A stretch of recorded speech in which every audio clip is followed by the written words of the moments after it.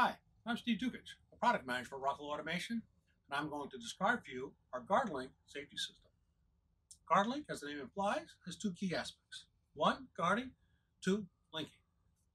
The GuardLink safety system is an elegant solution to those safety applications that require multiple devices wired in series to cover a machine. You need to know what the status of those devices are, but you don't want to go out to the machine to look at the LEDs on the different devices. The GuardLink system take care of that solution. Now let me show you how we do that. We start with the brains of the operation, the DG relay.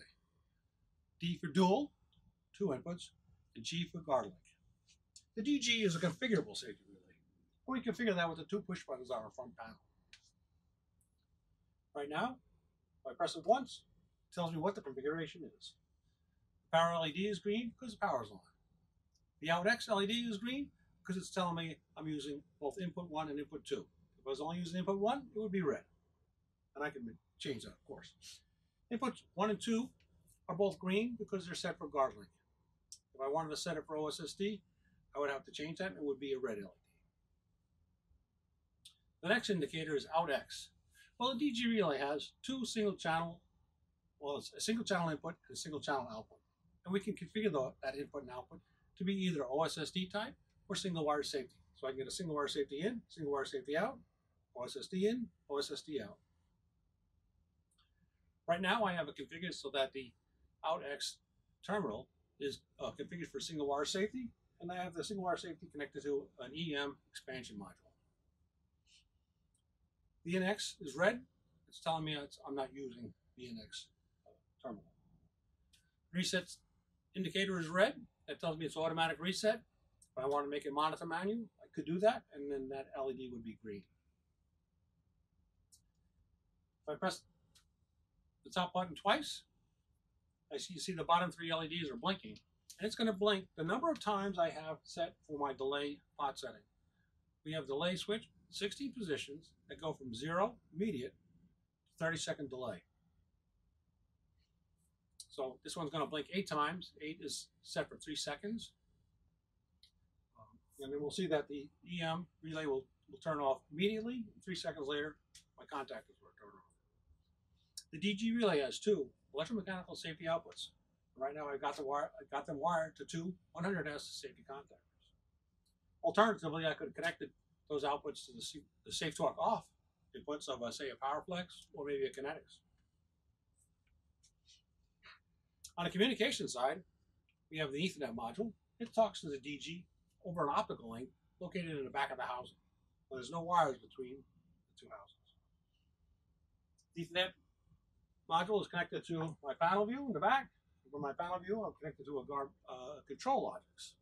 Here we only need a ControlLogix because the safety system is controlled by a, by the DG. We don't need GuardLogix. We could use GuardLogix, but basically what we're doing is we're sending status signals from the, D, from the DG back to the ControlLogix and then displaying it on the panel. And also, now by panel view, I'll send lock and unlock signals to the control panel, ControlLogix, which then transfers it to the DG relay, and then we'll lock or unlock my gates as appropriate. Now let's go look at the, the GuardLink part of it. Like I said, we have, we have I have two guard link systems. My top row is guard link 1. My bottom row is guard link 2. And the GuardLink system is accomplished by, by taps. We start from a, we start here uh, from the DG relay with a four wire standard four wire cable, power, ground, GuardLink signal, clue signal, the command lock and unlink lock signal. So I have two wires on my DG relay, one going to my uh, system number two, one going to GuardLink system number two. We have many different types of devices that we can connect to GuardLink, so we have to have the appropriate tap. We have right now six taps. We'll have a, an 8, 8 pin OSSD, an 8 pin EMSS, electromechanical safety switch, uh, a 5 pin EMSS, a 5 pin OSSD. We've re recently launched a passive power tap and a passive tap. And we'll go through this in a little bit more detail. Now each GuardLink system can have up to 32 taps. At the end of the system, we must have a terminator. The terminator tells the tap, hey, you're the last one. You start the, the signal. You send it through all the taps, and as it traverses, questions makes you questions whether the device is safe or not. It says that sends that signal to the DG relay. It's kind of a small system for demo purposes. You can run from tap to tap up to 30 meter cable. Cables come in various different sizes, uh, so you don't have to deal with a lot of extra cable. Um, so you have 32 devices, 30 meters between devices, and that, that means you, you can cover up to 960 meters of a machine.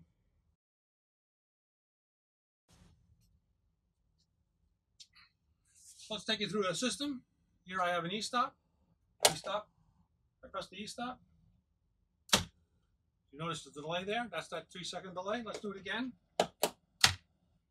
You'll see the EM goes off immediately. Two, three. Three seconds later, the 100S contact will go off. On my tap, the tap has two indicators, a device indicator, so it's turned red because this device is pressed. And notice that the link indicator on all the taps is red. The device indicator is blinking green because these devices have not opened up. And like I said, we can connect many different devices. Here's a sensor guard. One, two, three. Here we have an EMSS 5 pin. And let's just say you have a, a need for, a, say, an e-stop or some, some civil apparatus in a hazardous location. Well, you can send a signal to a 937TH and send that signal into the hazardous area. So now I, I can be in my hazardous area, send a, a stop signal. Notice that although I have many, many input devices, I only have one output. So I really am only addressing one zone of a machine. I can do that with many different inputs. Continuing on, we go to a passive power tap. Now, if you have 32 devices and you put a lot of guard locking switches on, they tend to take more, more, more power, and then you can create a voltage drop where the voltage at the tap is too low for the, for the system. And so what we done did is um, introduce a power passive tap so that we can take a remote power supply and now power, add power into the GuardLink system for all devices downstream. And you can add up to six power taps, which is a, a lot. Um, for the pa passive tap, I have to connect a GuardLink enabled device. Now here's our 440 GMZ. This is a new device for us. It automatically determines whether it should be its outputs should be OSSD or GuardLink. With the power passive tap, we don't have um, we have an indication for power, but the device is uh, indicating whether it's uh, on or off. Continuing on, a sensor guard with integrated latch. Got the nice magnet on there to hold in place. Light touch. I got another 440 GMZ connected to a passive tap. So now the GMZ has realized, hey, I'm connected to a GuardLink. Let me configure my, um, automatically configure my outputs to be GuardLink. Going on, I have an, uh, a light curtain. Now the nice thing about this is I can add a five pin splitter and I can power both my transmitter, well, my receiver and my transmitter uh, on the power tap, uh, on the on a on a standard tap, standard five pin OSSD tap. Now, you've got to be careful about this application because you don't generally have a three second delay when you have a light curtain. But you know, this is just for thermal purpose. Now let's talk about locking and unlocking. my top row, I have all guard locking switches. In the second row, I only have tops four and six are guard locking.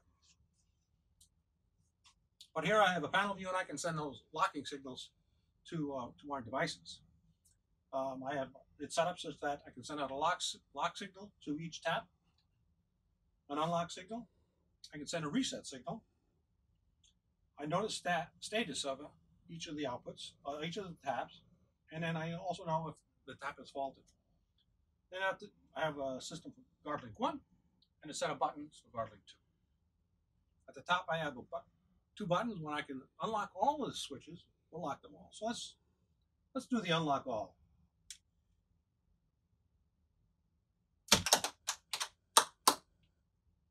So you can hear the, the, the switches are turning off little by little by little.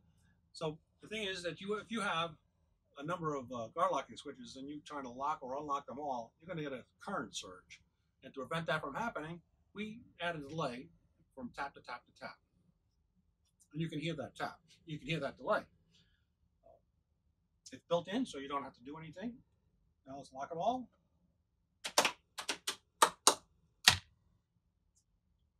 Let's un- unlock them all again. And I show you something interesting.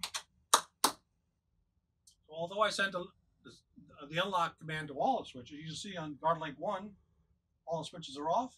On GuardLink 2, only only 4 and 6 are off. That's because my e-stop, my sensor guards, they don't have locking switches. So although I sent the locking command, oh, they just ignored it. And so their status is on.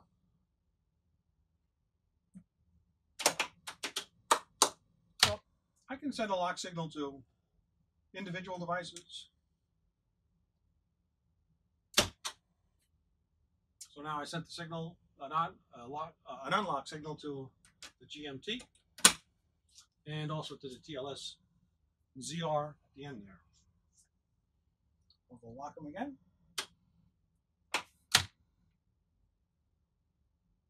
Go. Now they're all green. That provides a pretty good overview of, of the guard locking system. As you can see, it covers lots of different products. It's very easy to uh, add these things if you for mounting. Uh, get out of there.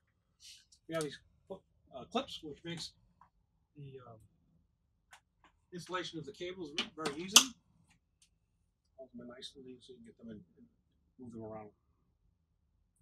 So, in summary, the GuardLink system is, is really key, really elegant solution for that series connection of safety devices to cover your machine safety system. I hope you found it useful. If you need more information, go to our website, www.rockwellautomation.com. Take care and have a safe day.